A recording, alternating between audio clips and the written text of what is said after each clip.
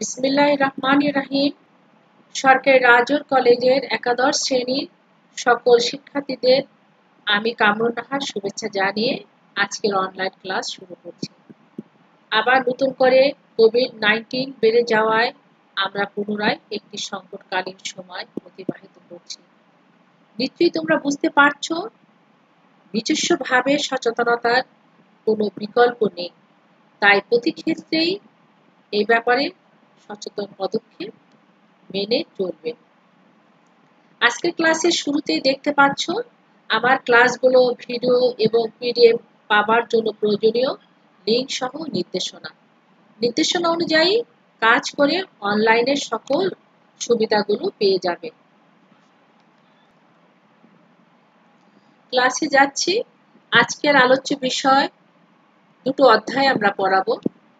আঠারোশো আটান্ন সালে ভারত শাসন আইন ও প্রক্রিয়া, আরেকটি হচ্ছে লর্ড রিপনের সংস্কার সমূহ তৃতীয় অধ্যায়, ইংরেজ উপনিবেশিক শাসন আর ব্রিটিশ আমল।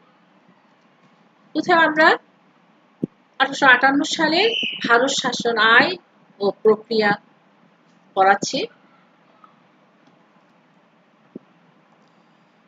প্রথম পড়াচ্ছি আঠারোশো আটান্ন সালে ভারত শাসন আইন ও প্রক্রিয়া।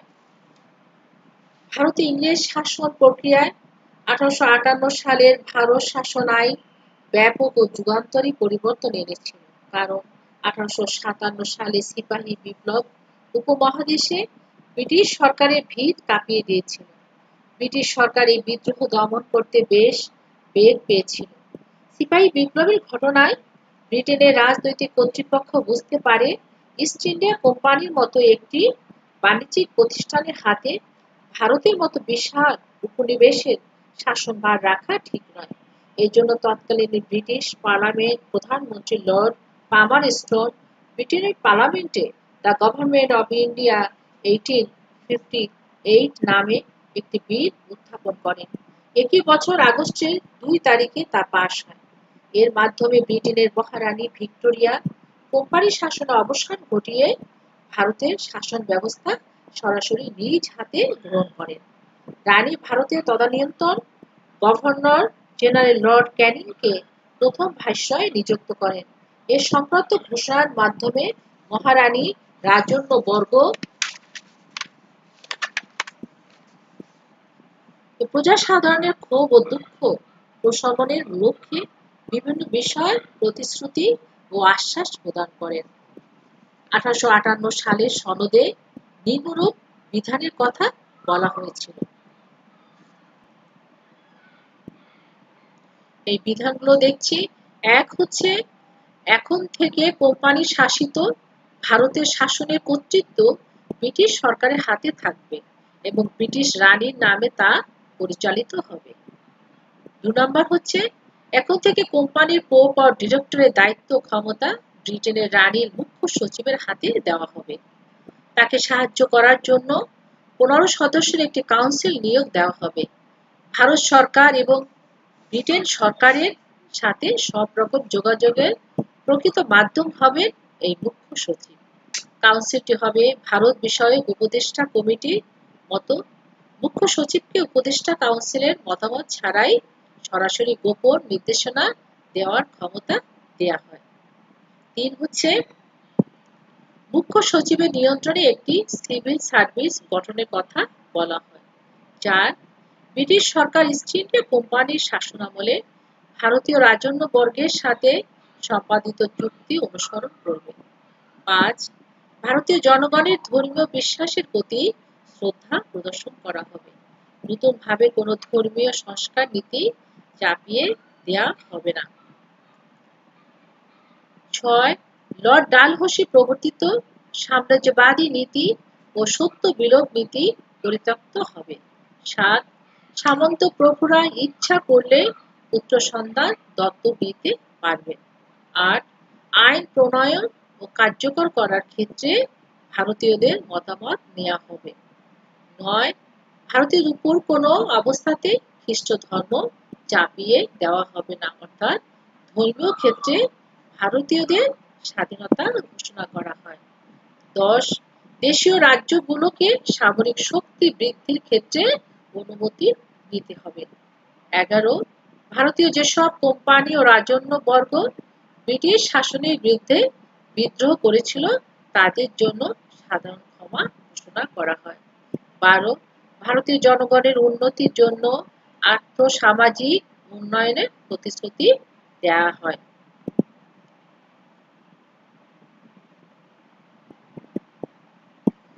ভাইসরয় নিযুক্ত। মহারানী ভিক্টোরিয়ার প্রতিশ্রুতি মোতাবেক লর্ড ক্যানিং আঠারোশো ছাপ্পান্ন থেকে আঠারোশো বাষট্টি খ্রিস্টাব্দে ভাইসরয় নিযুক্ত হয়েই উদারতা ও শান্তির নীতি অনুসরণ করে। ভারতের জনসাধারণের ক্ষোভ প্রশমনের চেষ্টা করেন পাশাপাশি আইন, সামরিক, রাজস্ব ও শিক্ষা ক্ষেত্রে বিভিন্ন সংস্কারমূলক কাজে হাত দেন। তবে এসব ইতিবাচক সংস্কার সত্ত্বেও ব্রিটিশ সরকার হিন্দু, মুসলিম ঐক্যবদ্ধ, শক্তির সম্ভাব্য চ্যালেঞ্জ সম্পর্কে সচেতন হয়ে কূট কৌশলের আশ্রয় নেয়। একদিকে তারা মুসলমানদের সর্বক্ষেত্রে দমনের নীতি গ্রহণ করে, অন্যদিকে নিজেদের ক্ষমতা সংহত করতে হিন্দু, মুসলিম ঐক্যে ফাটল ধরানোর কৌশল গ্রহণ করে। ব্রিটিশদের নীতিতে কাজ হয়। হিন্দু, মুসলমানদের মধ্যে ব্যবধান বেড়ে গিয়ে উপমহাদেশ শেষ পর্যন্ত ধর্মের ভিত্তিতে বিভক্তির পথ এড়িয়ে যায়।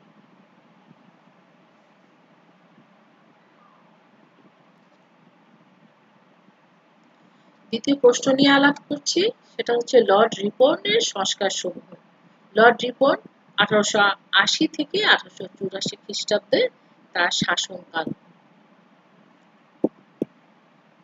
লর্ড রিপনের সংস্কার সমূহ আলোচনা করা হলো। লর্ড রিপন তার উদারনৈতিক শাসনের জন্য সুপরিচিত। উদারনৈতিক শাসন ও জনকল্যাণমূলক সংস্কারের জন্য ভারতবর্ষে তার নাম শ্রদ্ধা ভরে স্মরণ করা হয়। লর্ড রিপন ভারতে আসার আগে আঠারোশো থেকে আঠারোশো উনআশি সাল পর্যন্ত ইংল্যান্ডের প্রধানমন্ত্রী গ্লাডস্টোনের উদারনৈতিক দলের সদস্য ছিলেন। পরবর্তী সময় আঠারোশো সালে লর্ড লিটনের পদত্যাগের পর তিনি ভারতে ভাষ্যয় নিযুক্ত হন। লর্ড রিপন সাম্রাজ্যবাদী নীতির বিরোধী ছিলেন।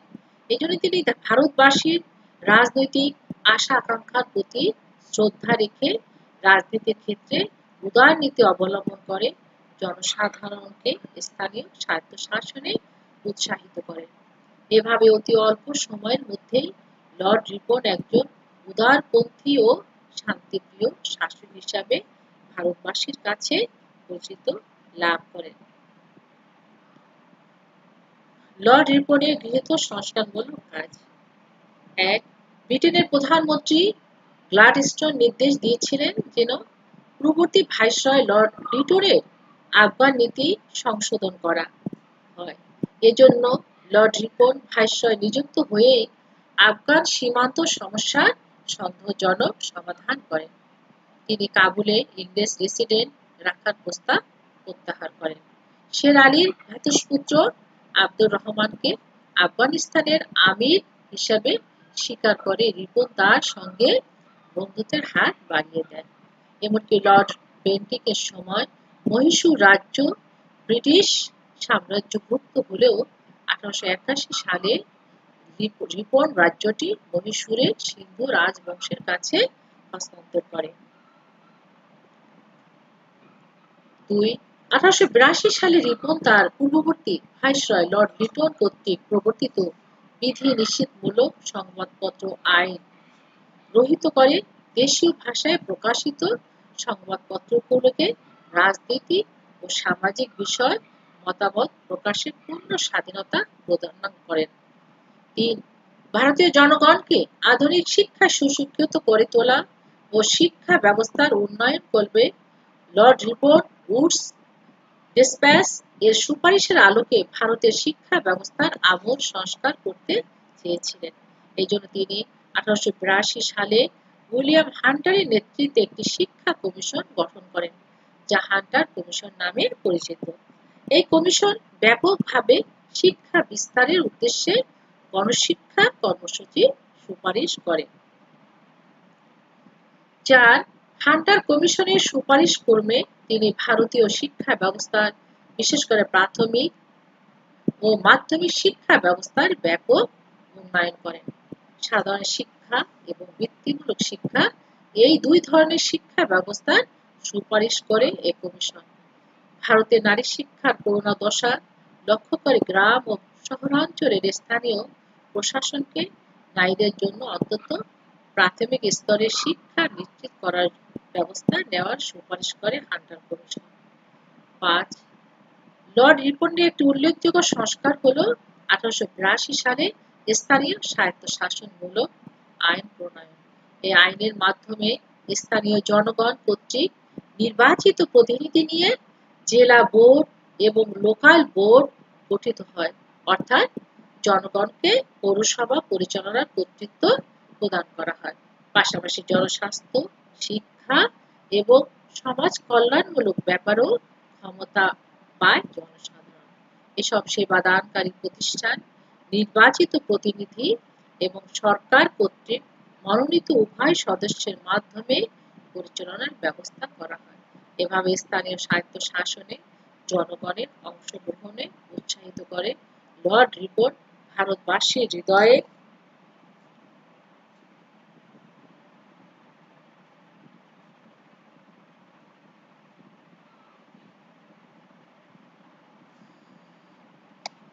গণতন্ত্রের ছয় আঠারোশো সালে রাজস্ব ও প্রজাস্বত্ব আইন তার শাসনামলের আরেকটি উল্লেখযোগ্য কীর্তি। বাংলা ও অযোধ্যার রায়তদের অবস্থার উন্নতির জন্য রিপন এই প্রজাস্বত্ব আইন প্রণয়ন করেন। সাত, ভারতীয় জনসাধারণের উপকারার্থে লর্ড রিপন অবাধ বাণিজ্য নীতি প্রবর্তনের মাধ্যমে লবণ ও অন্যান্য বাণিজ্য দ্রব্যের উপর শুল্ক হ্রাস করেন এবং আয়কর